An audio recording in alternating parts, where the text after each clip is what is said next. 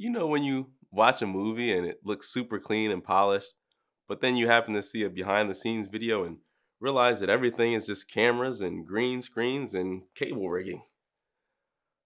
Well, okay, this video setup seems a, a lot less complex when you compare it to a multi-million dollar movie set. But anyway, your website is kind of the same way. There's the nice and clean front end that people see when they visit, but then there's all the stuff that goes on in the back end. That includes the work you do for search engine optimization, or SEO, and even more specifically, technical SEO.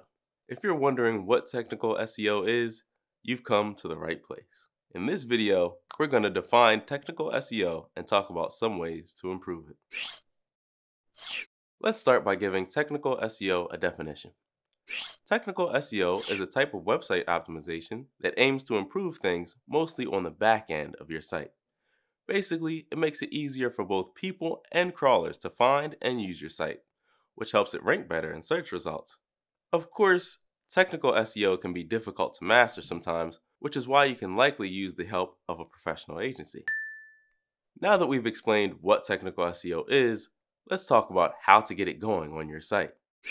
Without further ado, here are seven things you can do to improve your technical SEO. Number one, use HTTPS. It gives your site a base layer of protection against bad actors. Google really likes HTTPS sites, so by taking this simple step, you'll be able to give your rankings a big boost. Plus, it's a good idea to do it anyway, since it helps protect the information people enter into your site, like their emails or credit card details. Number two, make a robots.txt file. A robots.txt file basically tells search engine crawlers where they're allowed on your website.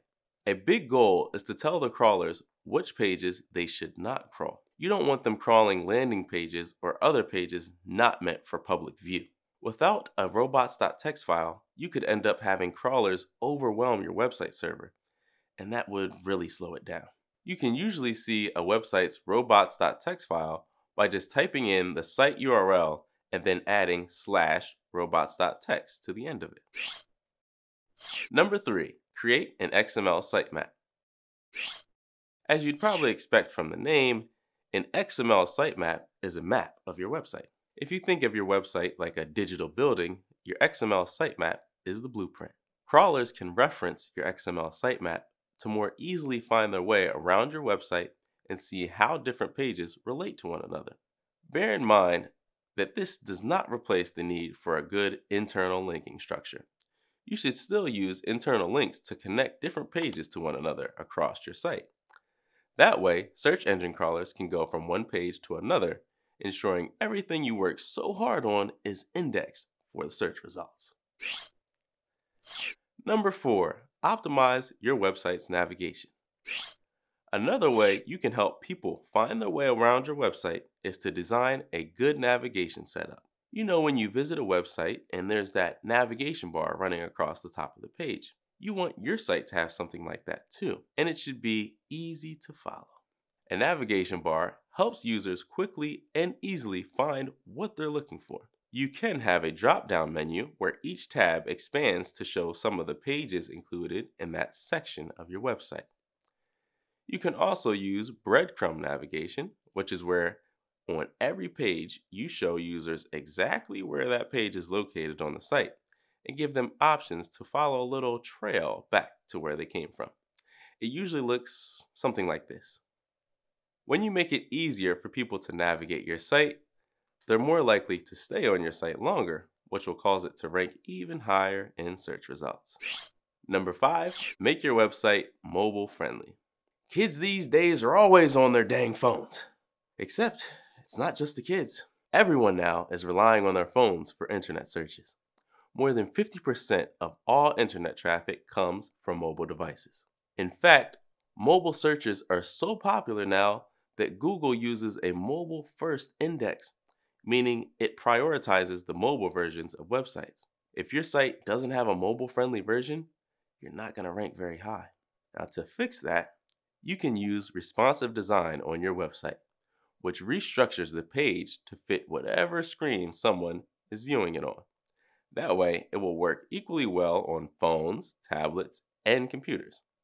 You'll make your site visitors happier, plus, you'll rank better in searches than people who have not adapted to mobile yet. Number six, improve your page speed. Picture this you visit a website and it takes a second to load. Oh, wait, still loading. Um, hang on a second, still loading here.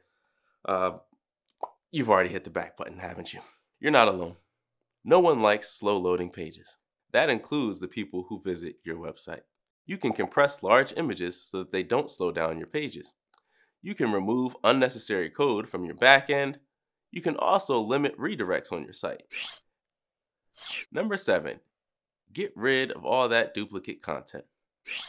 One thing you definitely don't want on your website is duplicate content. That's where you have two or more pieces of content that are super similar, like a tool that generates different words and each result has its own URL. Even if they're not identical, two pages can still count as duplicate content. The reason that this is a problem is that when Google runs into two pages that seem to be the same, it has a hard time figuring out which one should rank in search results.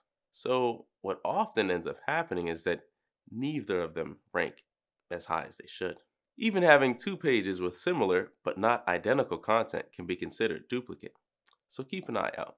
You can use tools like Screaming Frog to help you find duplicate content on your site, and then you can revise that content to make it more distinct. Well, that's it for this video. Now you have the info you need to help rocket your site up in the search results. If you want to learn more about SEO or digital marketing, you can always subscribe to our YouTube channel. You can also subscribe to our email newsletter, Revenue Weekly. But that's all we have for you for now. Thanks for watching. I'm Bo from WebFX, and we'll see you next time.